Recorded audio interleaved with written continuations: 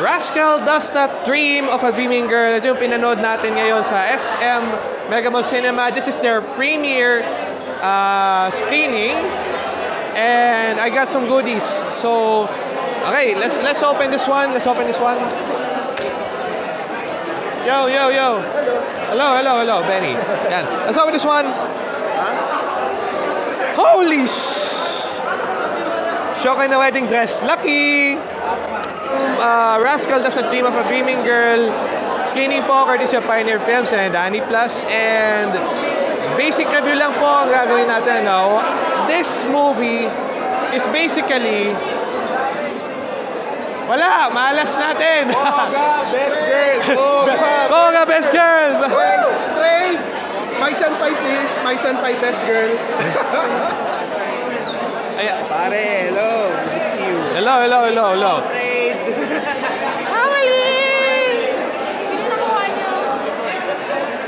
Ah, si Toga? Toga? Kami Koga. Naunahan tayong lahat, naubos lahat. Naubos lahat. Ay, kanina merong Shoko kanina. Meron kanina, meron kanina Shoko. Ano yan? Ano yan? Koga rin. Koga.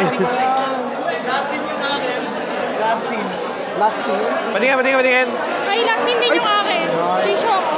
Oh, yes, oh, yes. Kain ano, wedding. Yes, yes, yes, yes. Yes, yes, yes, yes, yes. Hmm. The Seibuta movie is good. No regrets. It was just phenomenal. Hmm. No 10 out spoiler, of no 10. spoiler, no No spoiler, spoiler. no spoiler. But 10 out of 10 would love to watch it again. I highly recommend it, especially if you watch the series and you get emotionally invested. You will be very invested in this movie. Nasabi mo na kung anong gusto ko sabihin eh. Yeah, I know. Sorry, it, it was that good. Though. I can, I can. I, it's really hard to explain without going to spoiler territory. But I would highly recommend it to anyone who watched and loved the Seibuta series. Watch this movie in theaters. Don't wait it. Don't wait for the Blu-rays. Just go to the to the theaters once general screening is out. Alright, sige. Thank you, thank you, Martin. No problem. No problem. Yeah, right, sige. So, what I think of the movie is basically a mathematical equation. Para siyang game of division eh.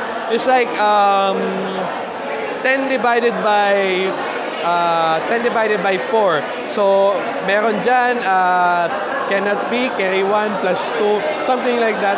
Pero ang ganda ng sequence ng film, sa una hindi mo siya maintindihan, pero eventually, everything will come full circle and uh, I think that's one of the concepts in the film. Science!